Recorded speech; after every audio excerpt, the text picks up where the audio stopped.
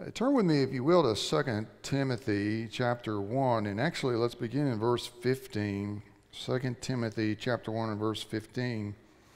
This you know that all those in Asia have turned away from me, among whom are Phygellus and Hermogenes.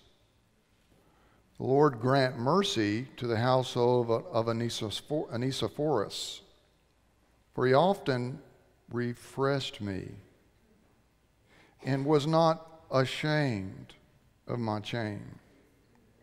But when he arrived in Rome, he sought me out very zealously and found me. The Lord grant to him that he may find mercy from the Lord in that day. And you know very well how many ways he ministered to me at Ephesus.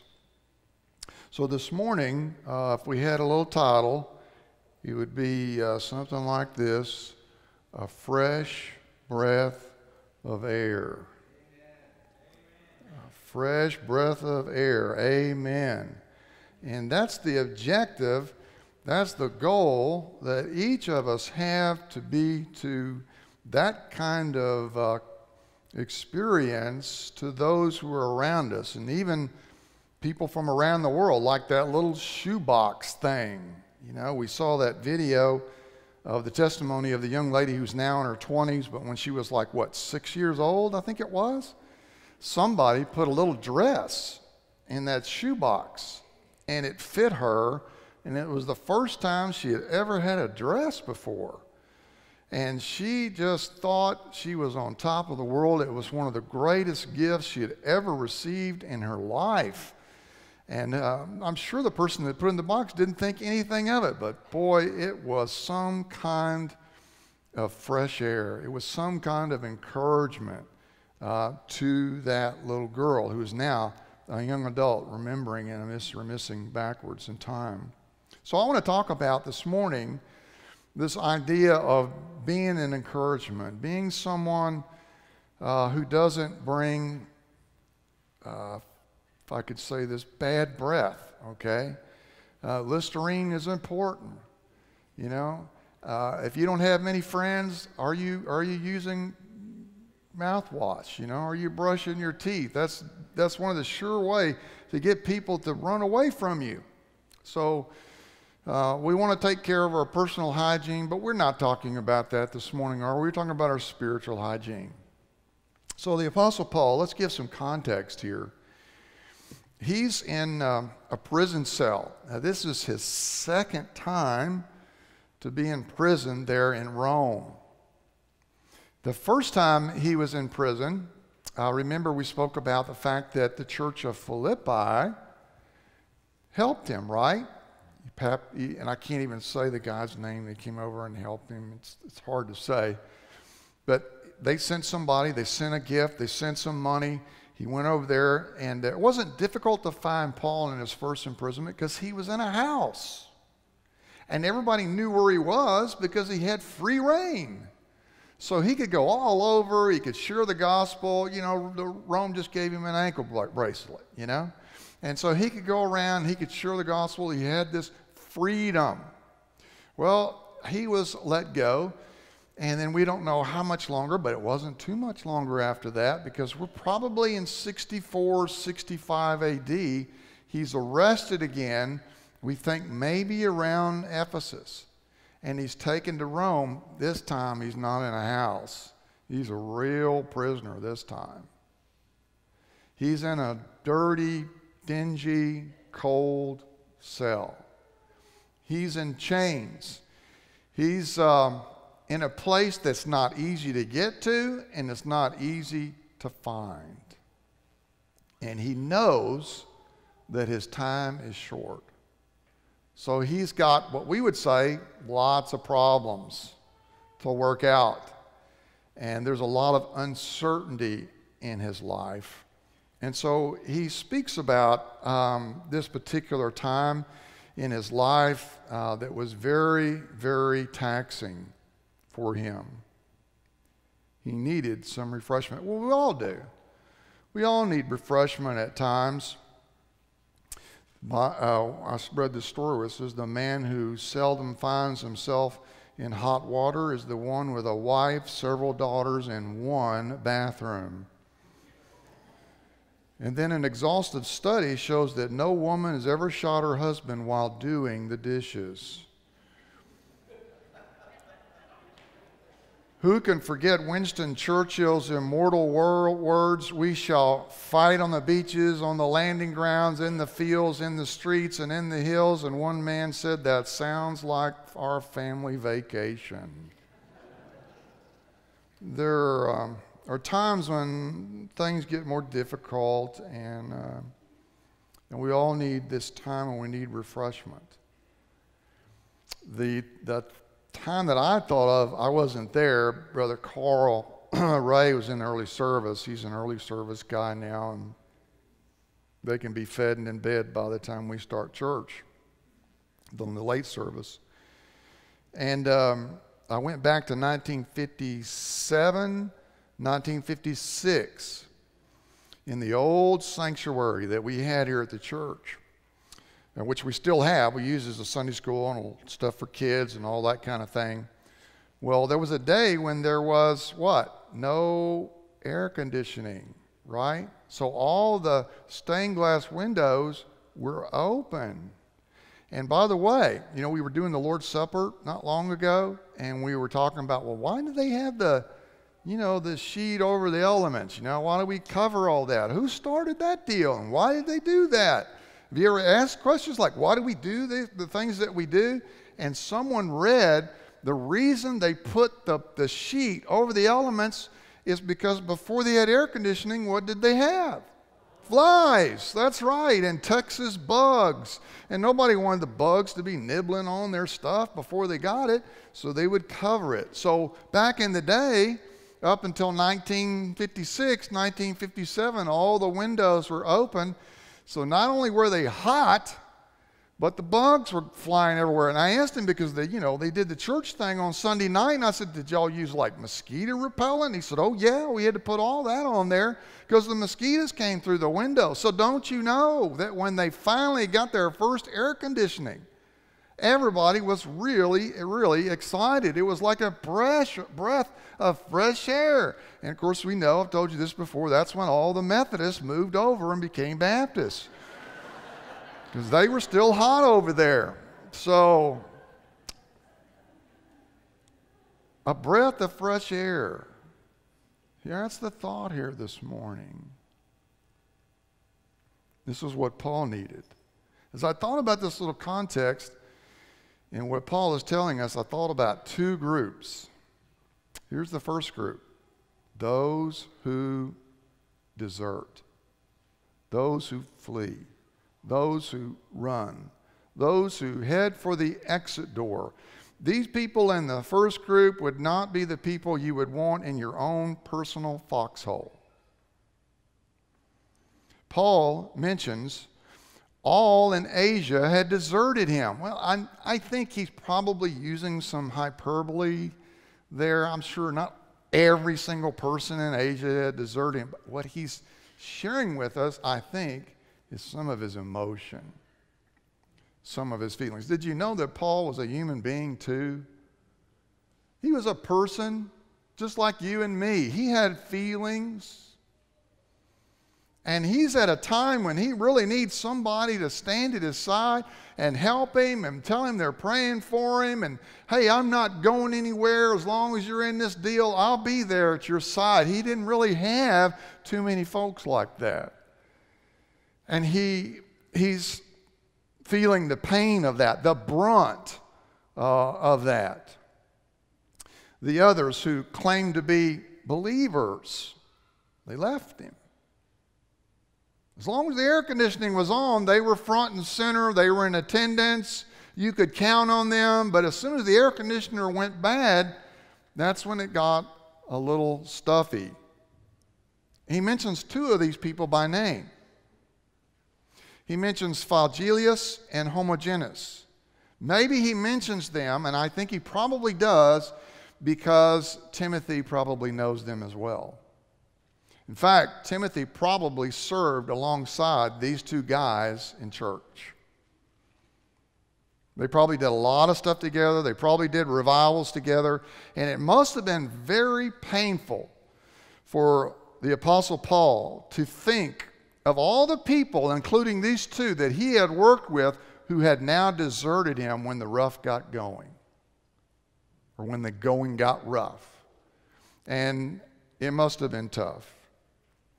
As they dropped Christianity as though it had never existed these two men Paul mentioned were probably at one time very close to him. So why did they do that? Why did they leave? Why did the, or all the other people leave? Well, I don't know for sure. He, he gives us some indications here of some thoughts here about some of the problems. One of them was they might have been ashamed of Paul's gospel.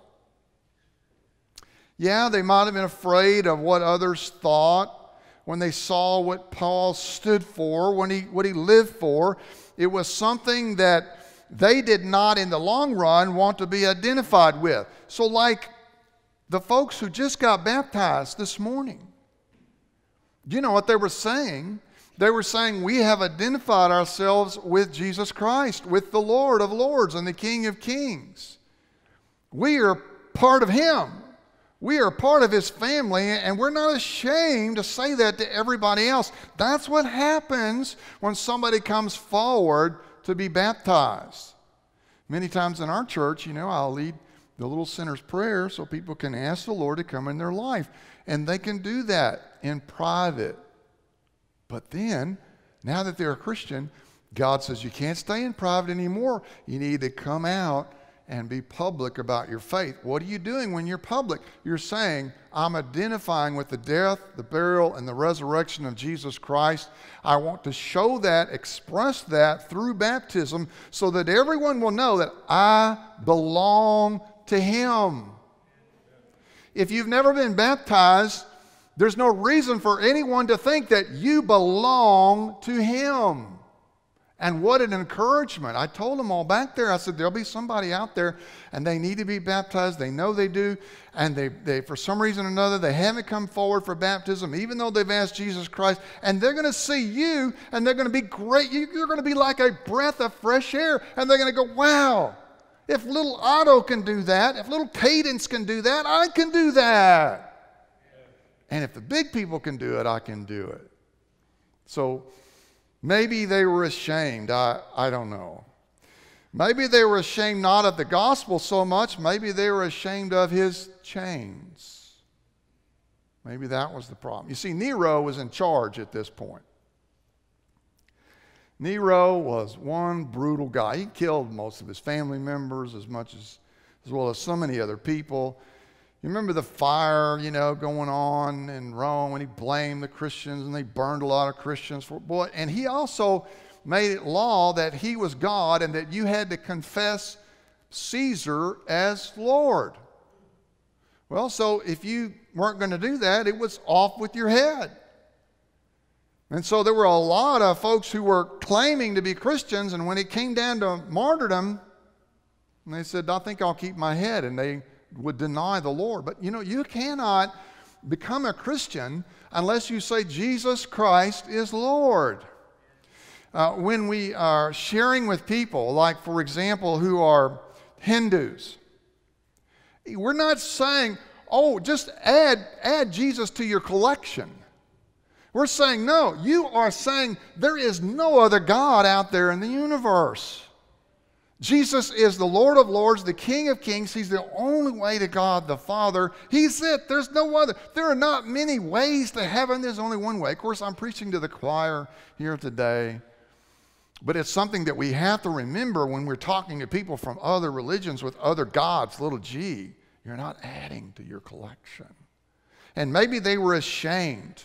Maybe they were afraid to stand beside Paul because you know, in that day, it wasn't you're innocent till you're proven guilty. You're, if you're just guilty by association. So all you have to do is stand next to a guy that is in jail. He might as well have been convicted. And if you stand by him, you're just as good as dead too. Well, they're like, I'm not ready to go yet. And so maybe that was their problem. Maybe it was that they had a little bit of this, that they loved the world. You remember what Paul said later about Demas. He said, For Demas has forsaken me, having loved this present world, and he has departed to Thessalonica. Maybe there was some of that going on where they just weren't ready to forsake their old ways and the love of this world. The pitch and the lure of the world catches a lot of folks.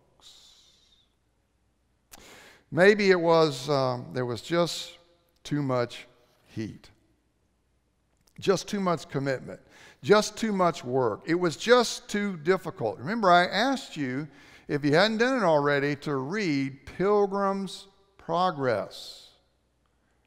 If you had, or if you haven't, go look for Mr. Pliable as his life will apply to what we are speaking about. Now, let me just pause and say something here. Every single one of us in this room today has regrets. We have things in our lives, times in our lives when we were a discouragement to someone else. And here's what happens. Sometimes people think, well, I, I, failed, so what can I do now?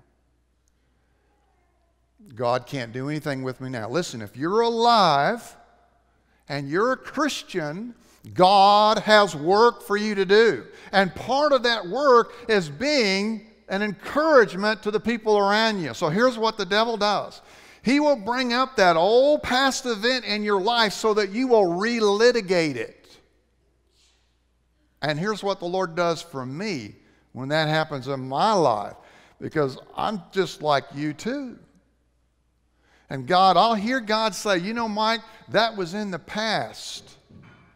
There's nothing that you can do about to change the past. And if you relitigate the past, and in the past, I've already forgiven you for what's in the past, you've already dealt with it, you're not going to be any good to anybody else in the present. So let it go, man. Don't relitigate it. Let me use you today. Let me help you to become like fresh air a breath of fresh air to the people around you, a pleasant scent. And it happens to all of us. You have to learn how to deal with the devil's tricks. I mean, God has forgiven you for your sins in Jesus Christ, past, present, and future. Yes, I confess them and I learn from them. Case in point John Mark. First missionary journey. He's doing great till it got a little tough, till it got a little difficult. He didn't really like the temperature in the foxhole. And so he said to Paul, he said to Barnabas, I'm out of here. I'm going back to mama, where she does all my clothes and cooks all my meals. Paul was not happy about it. He was so unhappy about it that he wouldn't even take John Mark on the second missionary tour.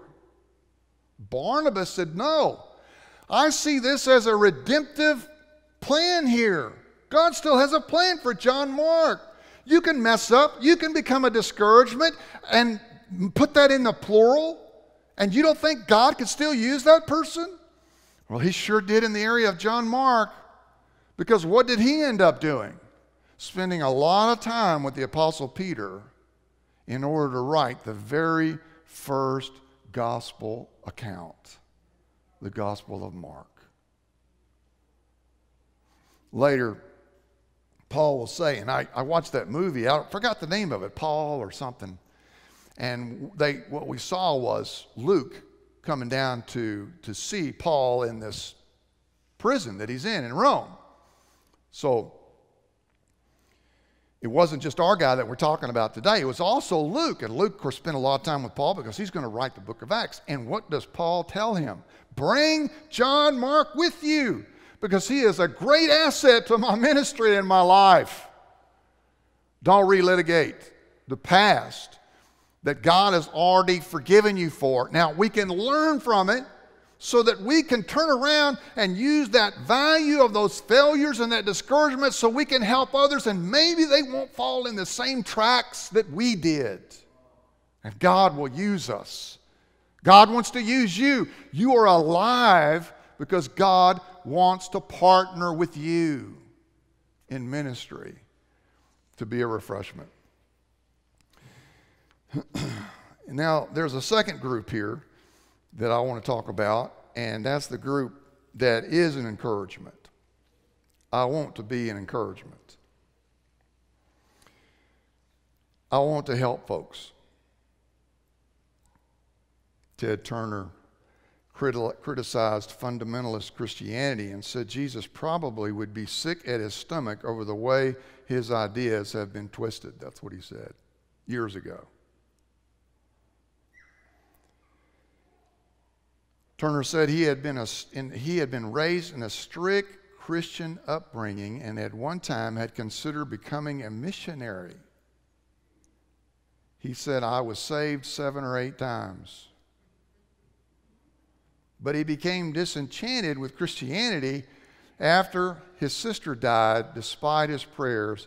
And Turner said, the more he strayed from his faith, he said, the better I felt. Well, you know what's the problem is with Ted is he, he just made a decision seven or eight times, but he never got saved. When you get saved, God begins to change your life and He gives you a burden for other people. And you know, that doesn't mean that it's all going to be wonderful and terrific and everything's going to be like Disney World or Disneyland or Fiesta Texas or Six Flags over Texas. It's not going to always be like that. We're going to have trouble sometimes. The Christian expects that. But because Jesus really lives in his heart, he's decided to identify with the Lord. He presses on, he endures. So this guy, this guy, our guy, Hermogenes, he goes to this place in Rome. He leaves Ephesus, and the Bible says that he's got to search Paul out because he's not easy to find. And he didn't give up looking around the first street corner.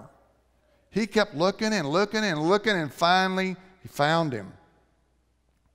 And he came to this place where Paul was. He brought a gift with him, he brought his life with. Paul notices also, he references him as the household of Onesiphorus. That means he's probably a rich man. God's using a rich man.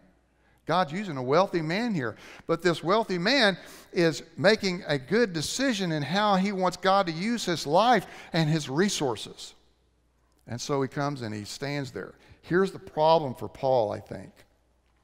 It was, it was, it's like it wasn't bad enough that he's in prison, that he's in chains, that he's in this cold place that he knows that he's going to get his head lopped off. It wasn't bad enough to know that he wasn't like in the house arrest where he could go around and preach the gospel. No. He's in this place where he doesn't have an opportunity to preach the gospel anymore. The very thing that he wants to do the most. He doesn't have the liberty to do it anymore. And if that isn't bad enough, on top of all that, now these two guys and many others have deserted him. It was the icing on the cake. And so I say, God speaks to us through the Apostle Paul's life, and he wants to use us to be an encouragement to others. This concept is also seen in. Uh, Philemon 1 7, for we have great joy and consolation over our love because the hearts of the saints have been refreshed by you, brother. First Colossians chapter, Corinthians chapter 16 and verse 17. I am glad the coming of Stephanas and Fortunus and Achaeus, for these supplied your lack, for they have refreshed my spirit and yours. And that's what we're talking about. The group that I want to be in is even though I may be feeling the heat, just because somebody becomes toxic does not mean I'm going to stand, not stand with them.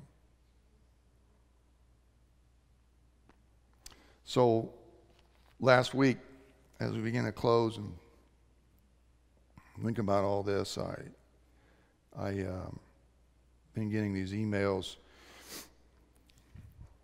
not just the Christmas boxes, but last week we talked to you about the little boat in Belize. And some of you gave last Sunday, and some of you have been giving already before that, and some of you will give in the future. And I just want to I just want to say something to you here this morning about that, in addition to the little Christmas boxes. So, something happened Monday. You know, we did our thing Sunday. And what happened was, it's like God, Bob says, you know, Mike, when you, when you, when you got through doing this deal in the sermon, it's like the floodgates just came open, like because we were speaking out about it in faith. And so Monday, this missionary that Bob had been speaking to went to North Carolina and he spoke to a boat builder there. And the boat builder made a commitment to build the hull out of fiberglass, not aluminum, which is so much cheaper, and to do it at cost. This is an awesome thing. So they were working through the details and the design of all this. But what I didn't realize what all this stuff this boat is going to do. I'm thinking, you know, it's carrying a few people here. No, it's, it's more than that. He, he writes a lot of stuff about this. And see if I can find it here where he describes this.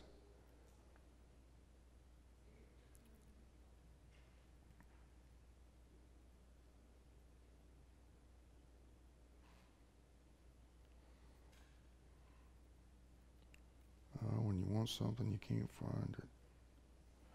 It's right here.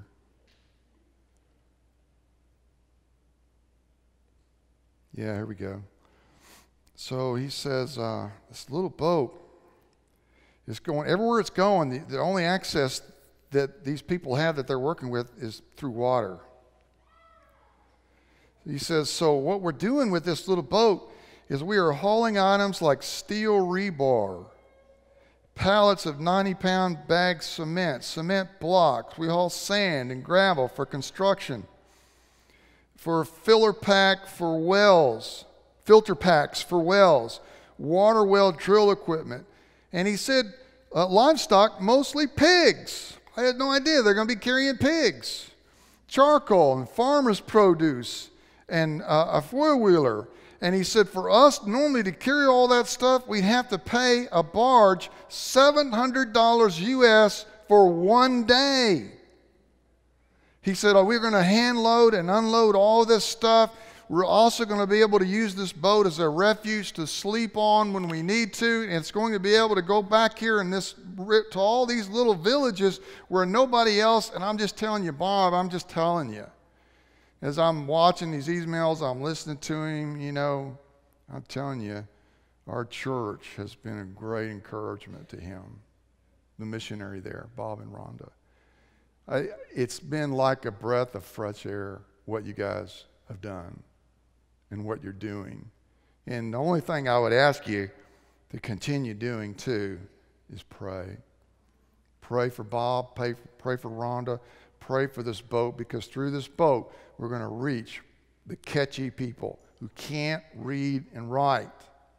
And if they get to go to church, it's in Spanish and they're not fluent in Spanish. So we're going to be able to give them the Word of God orally. And they're going to be able to help them drink clean water so they can live long enough for us to talk to them about. But you have been a great encouragement to them, and along with those little Christmas boxes. I just don't want to be in the group of discouragement. Yes, I've discouraged people in the past, but I don't have to stay there. I can be in this group where I can encourage people and let God use me today without relitigating the past. And you can too. You can be like Onesiphorus. May God help us to be like him. Let's pray.